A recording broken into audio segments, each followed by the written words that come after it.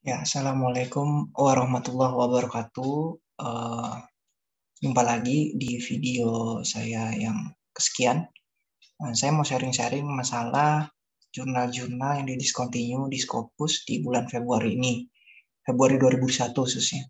Nah, uh, mohon maaf saya baru upload uh, jurnal apa namanya video karena memang uh, satu dan lain hal dan juga kesibukan. Oke. Okay uh, tanpa berlama-lama kita akan bersama-sama gimana sih cara ngecek jurnal-jurnal yang di discontinue di Scopus. Oke, okay?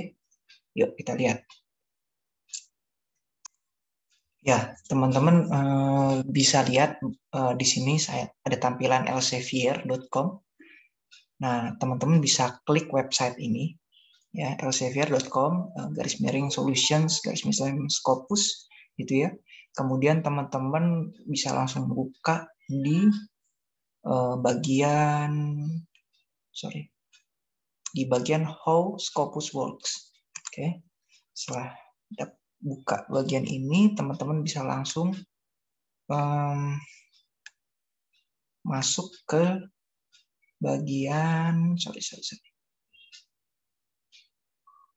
how Scopus works. Saya coba lihat lagi. Nah, teman-teman bisa lihat di sini uh, macam-macam ada riset metrik dan lain sebagainya. Bisa teman-teman download untuk um, daftar jurnal yang di discontinue.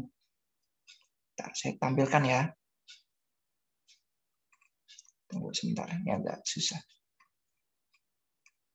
Ya, teman-teman bisa langsung klik di tadi bagian how Scopus works, terus pilih konten, terus di sini teman-teman bisa cek di bagian paling bawah,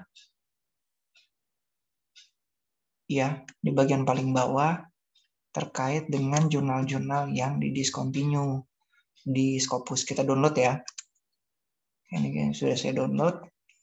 Uh, saya coba tampilkan di siap apa jurnal mana aja yang di discontinue. Sebentar ya. Oke. Ya, uh, ini yang tadi kita download, discontinue Februari 2021 ya. Dan ini uh, ini yang terupdate dan ditandai yang terbaru itu ditandai dengan warna oranye. Coba kita lihat ya. Filter by color. Nah, ini ada kurang lebih berapa banyak jurnal? Ada 18 jurnal yang di discontinue. Oke, kita coba lihat yuk masing-masing kenapa sih alasan discontinue-nya. Oke, di pertama ini ada jurnal Annals of Tropical Medicine and Public Health ya. Di sini kita lihat uh, reason for discontinue itu publication concern berarti ya mungkin ya kita asumsinya uh, proses reviewnya kurang memenuhi standar lah ya seperti itu. Kemudian di sini elementary education online banyak ya publication concern. Terus International Journal of Management publication concern juga. Wah, banyak banget nih. Security and Sustainability Studies sama. Kemudian ya banyak jurnal-jurnal sains juga ya yang masuk ke dalam uh, jurnal yang di discontinue ini ya. Kurang lebih ada 18 nih. Nah, ini terutama systematic review and pharmacy. Sebenarnya jurnal ini gimana ya? Kalau saya juga bingung sih. Skopnya kan eh, kalau bisa dibilang tuh bidang farmasi ya. Tapi kalau pas teman-teman baca jurnal-jurnalnya itu kok ada juga bidang bisnis, manajemen dan memang di luar skop itu gitu loh. Tapi mereka terima itu juga aneh banget sih ya menurut saya ya. Sampai mungkin uh, kalau ada yang menjanjikan Scopus tapi uh, anggaplah kita bidang manajemen ya, tiba-tiba kita submit ke sini gitu lah. Itu aneh banget menurut saya. Kenapa sih?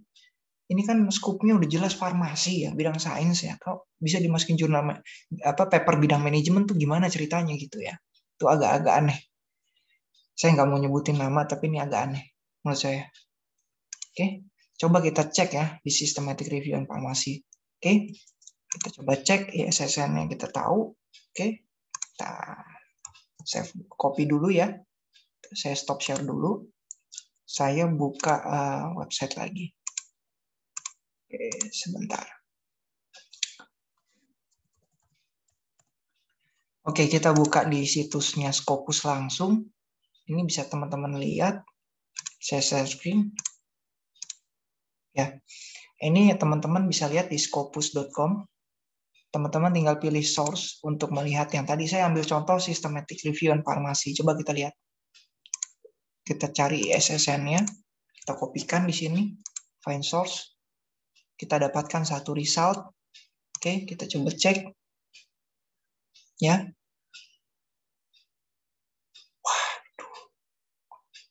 ya systematic review and farmasi dari 2010 sampai dengan sekarang. Ya, tapi jurnal homepage-nya hilang. Nah, teman-teman yang punya concern, ada yang suka nanya ke saya, Mas, ini uh, saya mau submit jurnal, apakah ini aman? Pas saya cek ternyata jurnal homepage-nya hilang. Itu jangan submit. Oh, udah, itu jangan submit karena bisa jadi ada ada website itu ngaku-ngaku dia memang memiliki ISSN uh, sesuai dengan uh, yang tertulis di sini gitu loh. 0976 strip 2779. Jangan sih. Ini udah ngaco banget sih. Walaupun ini masih present ya. Lihat. Di 2020 dia nerbitin 1467 dokumen. Wah. Teman-teman tinggal kaliin aja. Biaya APC-nya itu berapa. Anggaplah APC 400 USD gitu itu udah duit di situ luar biasa ya. Kalau menurut saya sih jangan sih ya jangan submit di sini. Walaupun memang ujung-ujungnya teman-teman mau publish gitu jangan sih. Karena subjek areanya juga di farmakologi toksikologi kalau teman-teman bidang sosial masuk ke sini itu ngaco sih. Gitu ya. Sorry nih agak-agak ofensif itu agak ngaco sih. Jangan jangan di, eh gimana ya jangan percaya kata-kata orang mau guru besar mau profesor mau mau dokter mau apa kalau dia janjiin publish scopus terus masukin ke predatory sih jangan ya. Jujur saya sendiri belum dokter, tapi saya lihat kayak gini tuh aneh gitu. Aneh banget sih. Sorry agak ngegas nih, mungkin eh, agak ngaco sih ini. Dengan 1700 dokumen yang masuk. 1467. Luar biasa. Ya. Oke. Ya paling itu uh, concern-concern dari saya sih uh, sharing-sharing hari ini.